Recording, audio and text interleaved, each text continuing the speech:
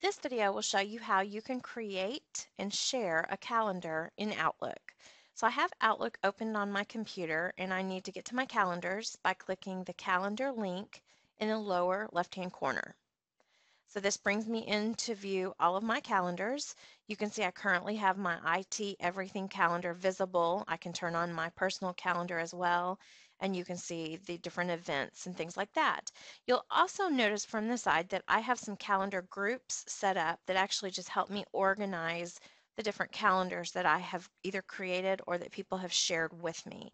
You can create calendar groups if you choose to by right clicking the My Calendars link and click, clicking New Calendar Group or you will notice that pretty much anything I can do from right clicking on something over here in the left column, I can also use an icon at the top to accomplish the same job. So I could create a calendar group with the icon called calendar groups.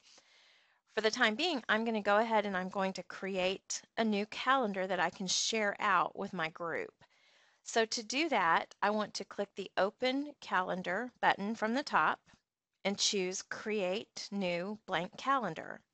I'm going to create just a planning calendar, but this could be a calendar you created to share with your grade level or your entire campus or a PLC or any other type of group that regularly needs to set appointments and keep up with each other. So I'm going to go ahead and click OK now that I've named it. And you'll notice that it pops in over on the left hand side under My Calendars.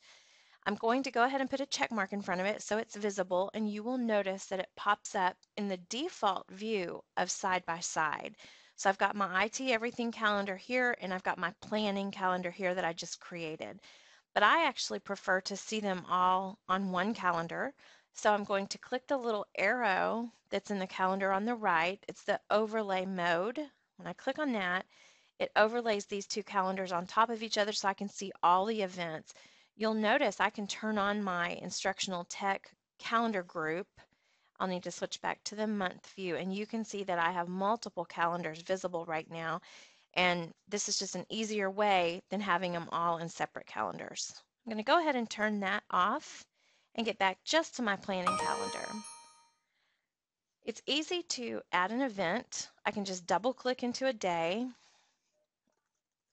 and schedule a meeting. I can put more details if I want. I hit save and close and you'll notice that that event is on my calendar. The next thing I need to do is share the calendar and it's really easy to do. I can right click on the word planning, that's the name of my calendar, and go down to share and I get several choices. Or I've got it highlighted and I can come up into the top and choose share calendar.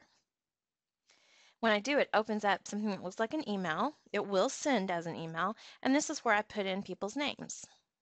So I find Lisa, and I want to go ahead and put her in here. You're going to notice there's a small box under the subject that says recipient can add, edit, and delete items in this calendar.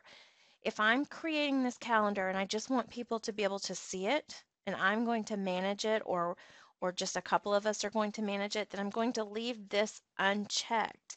In this case, I want Lisa to have full editing access as well. So I'm going to go ahead and check this so that she can add events to the calendar. She can delete them and she can edit them.